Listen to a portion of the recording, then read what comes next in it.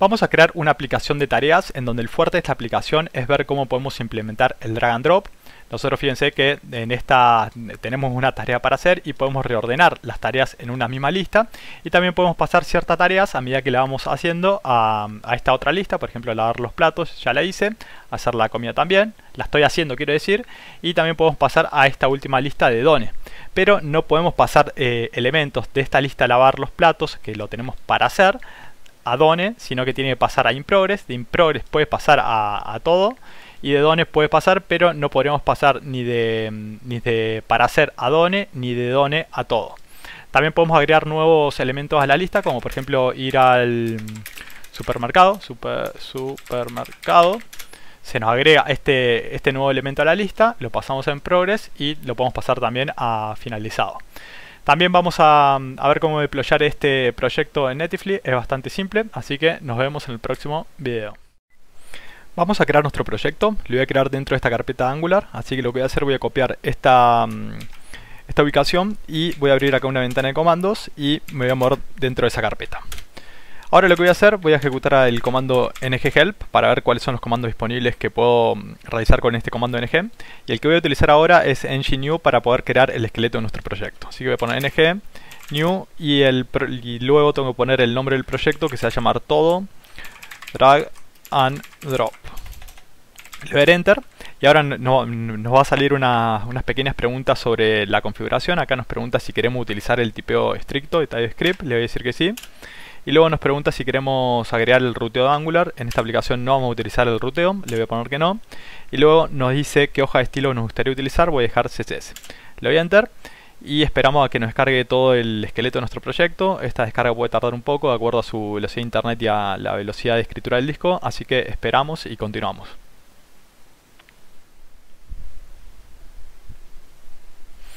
Una vez finalizada la, descarga, lo que vamos a hacer, nos vamos a, mover dentro de esta carpeta que nos acaba de crear, todo drag and drop, esta que tenemos acá. Voy a poner acá cd, todo drag and drop. Y ahora voy a ejecutar el comando code, code punto para que me abra el Visual Studio Code eh, posicionado dentro de esta carpeta. Y acá podemos ver que eh, nos creó todo este archivo que tenemos acá.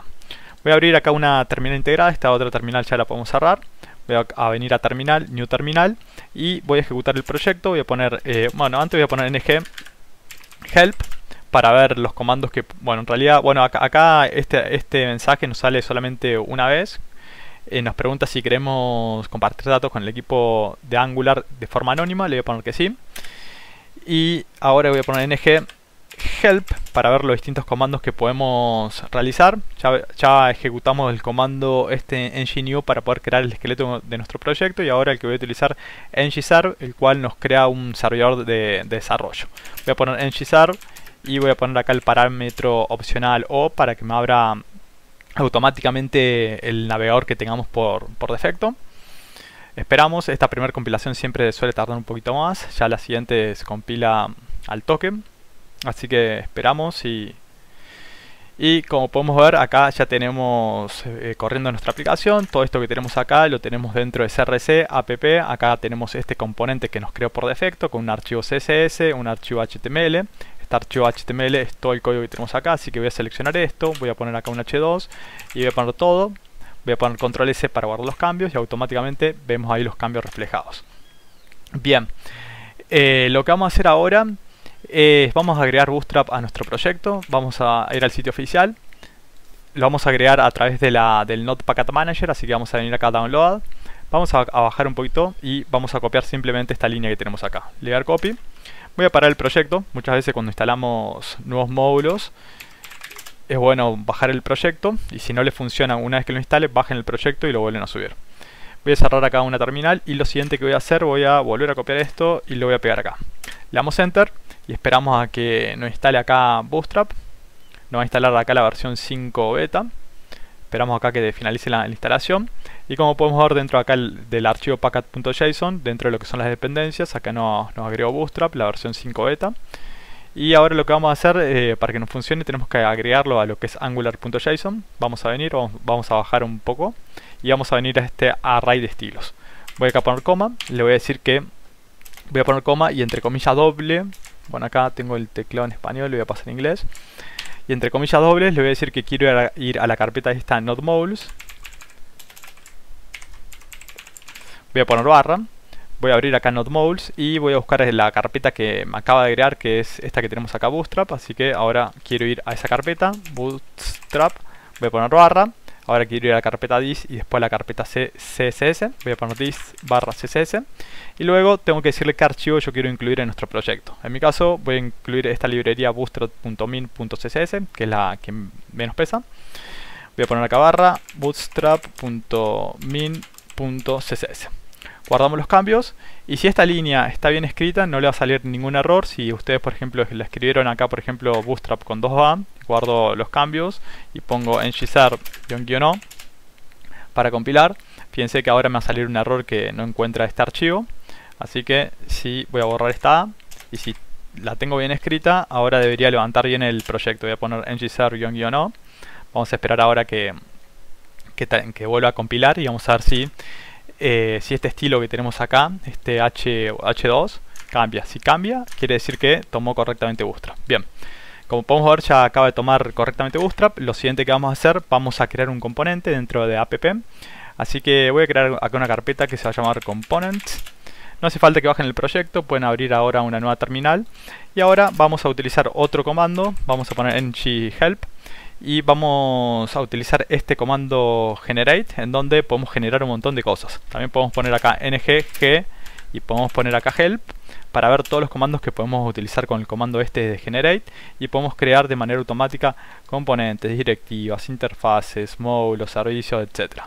Bueno, en este caso voy a crear un, componente y ahora le voy a decir que quiero que lo cree dentro de la carpeta components y se va a llamar tarea tarea le doy a enter y esperamos a que nos cree el componente acá adentro ya nos creó acá el componente con cuatro archivos ahí tenemos un HTML que pesa eso el de pruebas eh, un componente TS, eh, un archivo TS, un, archivo CSS y también acá nos dice que no actualizó el app module. Si venimos al app module, al app module podemos ver que dentro de la que es este decorador ng y entre lo que son las declaraciones nos agregó automáticamente este componente. Bien, ahora voy a lo que vamos a hacer, vamos a, renderizar ese componente. Si venimos a tarea.component.css, en las propiedades de este, de este decorador tenemos un selector que es app tarea. Con este nombre nosotros vamos a poder renderizar la, nuestro componente en cualquier parte de nuestra aplicación. Vamos a venir a app component html, voy a borrar esto, voy a poner app tarea y si ahora guardo los cambios, podemos ver que ahí tenemos este texto que tenemos acá, tarea works, que está dentro de tarea. Es decir, lo que estamos haciendo, si venimos acá y abrimos una consola, venimos a los elementos, estamos imprimiendo acá, eh, estamos imprimiendo, bueno, acá el archivo index.html, que es la única página que tenemos. Luego se está mm, renderizando este app root, es decir, este componente raíz. Y dentro del componente raíz estamos renderizando el acá app, app tarea. Es decir, si venimos a nuestro proyecto, dentro del componente raíz estamos renderizando app tarea. Si copiamos varias veces esto y guardamos los cambios, podemos ver que dentro de app root ahora estamos renderizando tres componentes tareas. Bueno, lo siguiente que vamos a hacer, vamos a mm, vamos a buscar algún gradiente, algún fondo. Voy a poner acá UI Gradients para dejar un poquito estéticamente un poquito más lindo nuestra aplicación. Pueden elegir el que ustedes quieran. Voy a seleccionar acá azul y el, que voy a elegir acá este de hidrógeno. Así que voy a seleccionar esto. Voy a venir acá a la derecha para obtener el código CSS. Voy a copiar esto y vamos a volver a nuestro proyecto. Vamos a venir acá a los estilos globales, está, CSS y voy a decir que el body en nuestro proyecto, es decir que el body este que lo tenemos acá en index.html, le vamos a aplicar em, este código CSS que acabamos de copiar. Si guardamos los cambios y volvemos a nuestra aplicación, podemos ver que ahí tenemos em, este fondo que tenemos acá. Bien, lo siguiente que vamos a hacer, vamos a, mm, vamos a venir acá a app component, vamos a cerrar todo. Vamos a venir a tarea component HTML y voy a acá colocar una, clase bootstrap. También le voy a colocar acá un margin top de un margin top de, 5 para separarlo un poco del elemento de arriba. Y luego lo que voy a hacer, voy a poner simplemente... No, primero, antes de esto, perdón, voy a poner acá un container. container.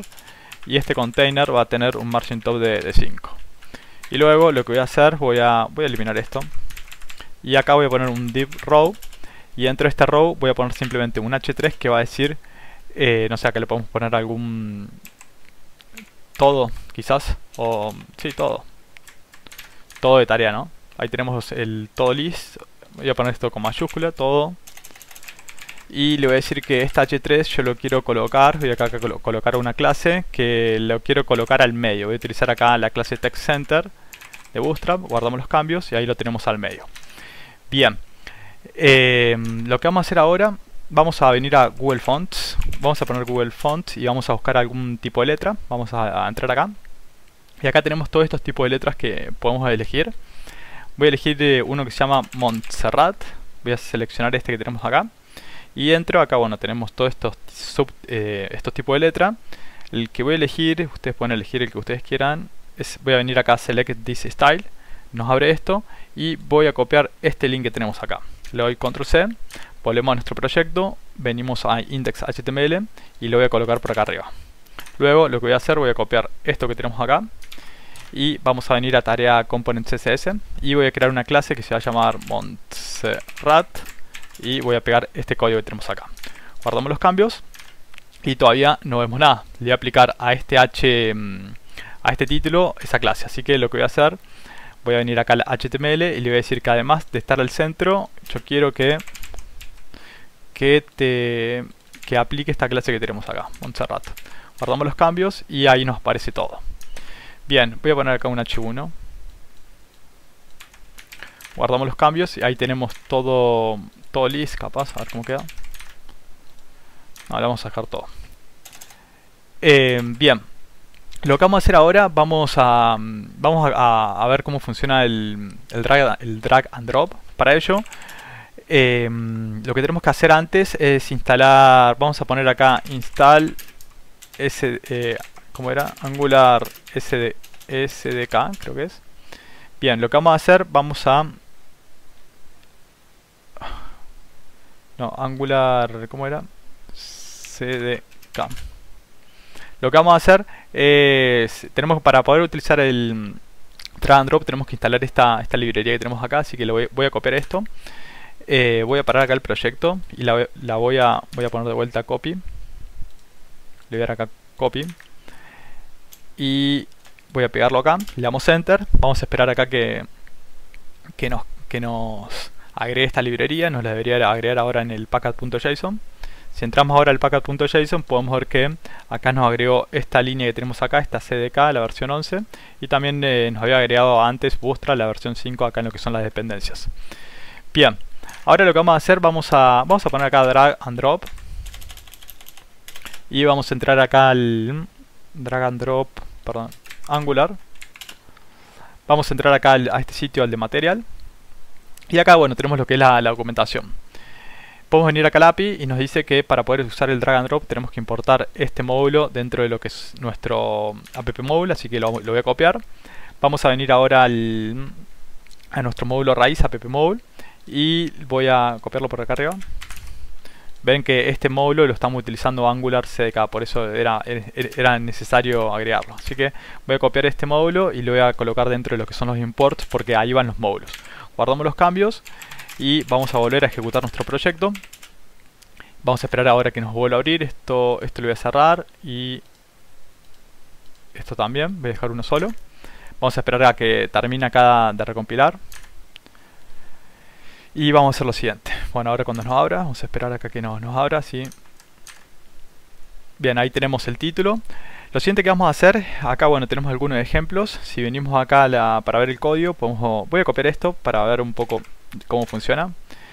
Voy a venir acá al HTML y debajo de este fila voy a copiar este código. Simplemente esto es un div que tiene esta directiva SK, eh, SDK drag. Fíjense que ahora si yo guardo los cambios y venimos, tengo este texto y fíjense cómo si yo lo puedo llevar por toda la pantalla gracias a esta directiva que tenemos acá. Bien, si continuamos y acá bajamos y, vemos acá el ejemplo, en este ejemplo acá tenemos una, lista en donde eh, una lista en donde se pueden ordenar los valores, así que si ahora venimos acá al código, lo que vamos a hacer, vamos a venir primero al TS, voy a copiar eh, este array de, de, películas, en donde simplemente es un array string, vamos a volver acá, lo voy a pegar por acá, luego lo que voy a hacer, voy a venir acá al HTML, y lo que voy a hacer voy a mm, voy a copiar esta línea que tenemos acá. Y vamos a venir acá al HTML y la voy a pegar por acá. Es exactamente la misma línea que antes en donde ahora estamos iterando las películas y estamos utilizando esta directiva eh, eh, esta directiva que podemos ver acá. Guardamos los cambios. Si volvemos ahí tenemos esta directiva en donde podemos ver que podemos de la misma manera gracias a esa directiva mover estos elementos si volvemos ahora podemos ver que acá hay otra directiva SDK drop list que está por encima de, de esto en donde con esta directiva solamente podemos arrastrar los elementos dentro de, esta zona. Así que voy a copiar esto que tenemos acá y lo voy a colocar dentro. Lo que voy a hacer, voy a, mm, voy a copiar esto que tenemos acá. Voy a pegarlo y esto no hace falta todavía. Lo voy a eliminar y este, esta clase también. Así que si ahora guardamos los cambios y volvemos, podemos ver que si yo trato de sacar algún elemento, no me deja. Eso es gracias a esta directiva que tenemos acá.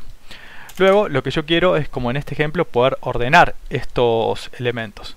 Lo que vamos a hacer, vamos a utilizar este, eh, este evento, SDK drop list drop, y vamos a crear ahora un evento, este evento drop, y le pasamos el evento, así que simplemente voy a copiar esto que tenemos acá, y vamos a venir ahora al TS, y voy a copiar este código que tenemos acá, vamos a venir acá al TS, y lo voy a pegar por acá.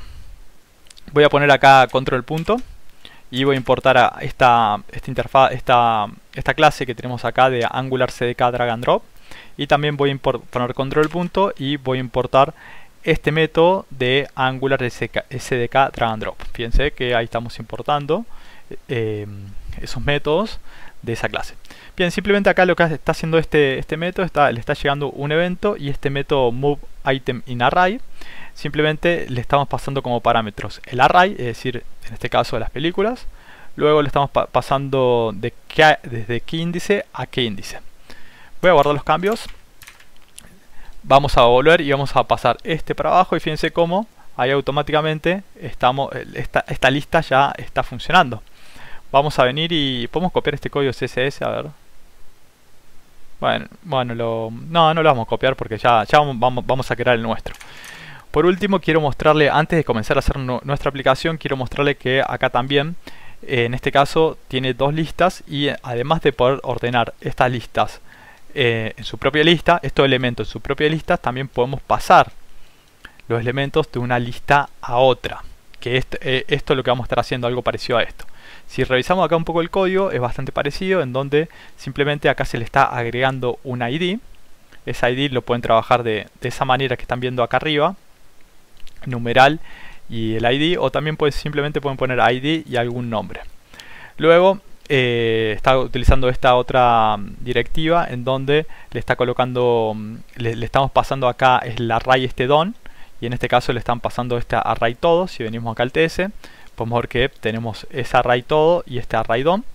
Y luego acá otro, otra directiva muy importante es que esta lista a cuál está conectada. Es decir, esta lista está conectada justamente con todo list y esta otra lista que tenemos acá está conectada con list Así de esta manera eh, solamente nosotros podemos pasar elementos de esta lista a otra lista. Porque imaginen que si acá tendríamos otra lista, quizás ustedes no quieren que pasar de esta lista a esta lista o de esta lista a otra lista, sino que de esta lista solamente la puedo pasar. O sea, de para hacer a Done em, de, esa manera con, con este em, con esta directiva que tenemos acá podemos definir de cómo son las conexiones entre listas. Eh, en el próximo video vamos a comenzar a trabajar en lo que es nuestra aplicación. Voy a eliminar este div que tenemos acá. Voy a crear una fila y dentro de esta fila voy a crear una columna de 4 y dentro de esta columna voy a poner un h4 con la clase Montserrat, Montserrat y acá simplemente voy a poner todo para hacer. Y acá arriba del título le voy a poner todo list. Vamos a guardar los cambios y ahí tenemos eh, este todo. Y lo que vamos a hacer ahora, vamos a volver acá a la documentación. Voy a copiar acá este código que tenemos acá, este div. Vamos a volver acá mm, a este, debajo de este todo, lo voy a pegar acá. Y lo que vamos a hacer eh, es lo siguiente. Voy a, mm, voy a venir acá al TS, voy a borrar estas películas. Este método drop también y voy a crear un, nuevo array que se va a llamar todo, que va a ser de tipo string. va a ser un array y lo vamos a inicializar con algunos elementos como por ejemplo hacer algunas tareas pueden poner hacer la comida vamos a colocar otra tarea como por ejemplo puede ser lavar los platos. Y vamos a poner acá otra tarea que le podemos decir que mm, hacer la comida, lavar los platos, eh, lavar el auto. Bien voy a copiar este todo, vamos a volver, acá voy a pegar, voy a iterar este elemento y acá simplemente voy a poner item y voy a copiar acá el, el item. Este, mm, este método lo voy a sacar momentáneamente y voy a copiar dos clases, estas dos clases que tenemos acá para que no me estén eh, viendo eh, escribir esto. Este código se lo, van a, en la descripción del, video eh, pueden descargar el código de, GitHub si no, lo, si no lo quieren copiar, lo pueden descargar ahí, copiar y pegar. Y si no, también lo, lo pueden sacar de acá el CSS, pero le hice alguna modificación. Así que bueno, lo que vamos a hacer ahora, voy a, vamos a borrar los cambios, a ver si cómo va quedando esto. Y acá tenemos eh, estos tres elementos. Bien. Ahora lo que voy a hacer, vamos a volver acá a la documentación voy a venir acá al TS y voy a copiar este método que tenemos acá en donde simplemente este método, como habíamos visto, lo que permite este método es mover elementos del array y simplemente acá voy a poner que quiero utilizar este array y acá tenemos este, este método donde le estamos pasando el array desde qué índice hasta qué índice y este método lo estamos eh, extrayendo acá de, esta librería y lo que me faltaría es venir acá al HTML y copiar este, este evento este que tenemos acá y lo voy a pegar por acá arriba. Ponemos control S y control S y ahora de esta manera ya podemos ver que tenemos el ordenamiento eh, en esta lista. Bien, vamos a volver acá al HTML y vamos a crear eh, dos columnas más. Voy a poner acá div call lg también de 4 en donde acá también voy a poner acá una clase montserrat y acá como título voy a poner in progress y acá debajo voy a, voy a volver a copiar esto que tenemos acá. Pero en este caso eh, voy a tener que crear tres listas distintas. Una de todo, otra que va a, decir progress, progress, también de tipo string. Y la voy a, inicializar a esta, mm, a esta como, como vacío. Vamos a volver acá, le voy a decir que acá quiero mostrar el progress y todo igual, vamos a borrar los cambios, control S y control S y acá tenemos esta, esta lista vacía. Voy a crear también otra lista más, voy a copiar esto que tenemos acá y la última va a ser eh, una lista de tareas ya finalizadas. Vamos a venir acá al HTML, voy a copiar esto una vez más, control C, control V, copiamos. Acá voy a poner don y acá voy a poner done vamos a borrar los cambios en ambos archivos y ahí tenemos eh, esta lista. Bien, el objetivo que tenemos ahora es poder pasar de, un, de una lista a otra lista, es decir, de esta lista yo puedo pasar a esta lista, de esta lista a esta lista y también de esta lista puedo pasar tanto para acá para, para, y también hasta acá. Pero lo que no puedo hacer es pasar elementos de acá hasta acá. Bien, vamos a volver acá a la documentación y acá tenemos un ejemplo bastante parecido. Pero la única diferencia es que nosotros podemos pasar de una lista, mm, eh, podemos pasar eh, a una tercera lista. Bien, vamos a, venir acá a la documentación y lo primero que vamos a hacer, eh, vamos a, colocarle un ID a cada uno de estos elementos. Voy a copiar acá este ID, por ejemplo. Vamos a venir acá al HTML y lo que voy a hacer acá, voy a colocarlo por acá. Voy a poner el ID acá, le voy a poner de nombre algún nombre que sea representativo. Voy a poner list todo voy a copiar esto que tenemos acá. Le voy a hacer lo mismo con este otro mm, con otra esta, otra lista. Voy a poner acá list progress. Y voy a poner acá en este último en donde vamos a poner list eh, done. Bien ya le, ya le agregamos las tres listas. Simplemente le, le, pueden colocar acá lo que es el ID o también le podrían colocar de esta manera que tenemos acá. Nosotros estamos poniendo el ejemplo este que tenemos acá Bien, lo siguiente que tenemos que hacer es utilizar esta otra directiva y poder bindear eh, con cada una de las, de las listas. Así que voy a poner por acá al lado eh, esta directiva que tenemos acá y le voy a pasar acá el, todo. Voy a copiar esto que tenemos acá, lo voy a pegar por acá. Acá le pasamos esta lista de progress. Y en el último, también bueno, voy a copiar esto que tenemos acá y le vamos acá a pasar esta lista de, de don. Bien. Ahora lo que nos faltaría es poder decirle em, con qué lista está conectada cada una. Por ejemplo, yo quiero que de esta lista solamente pueda pasar a InProgress, entonces lo que vamos a hacer es lo siguiente. Voy a copiar esto que tenemos acá, lo voy a copiar, lo voy a pegar por acá, y, y acá simplemente lo que tengo que poner acá es este nombre, pero este nombre, fíjense que lo tengo que poner acá entre comillas simples. A ver si acá tiene el ejemplo, ponerlo con comillas simples. Pero fíjense que acá tiene. Yo estoy colocando esta ID y después tengo que colocar con cuál está conectado. En este caso toda la, lista 1 está conectada con la, con la, lista 2 y lo está colocando con comillas simples. Si lo hacen de, esta manera no, no, hace falta. Bien, ahora voy a copiar esto que tenemos acá. Lo voy a poner en esta otra lista. Pero esta lista que tenemos acá se puede conectar tanto con la lista esta de todo y también con esta lista de don.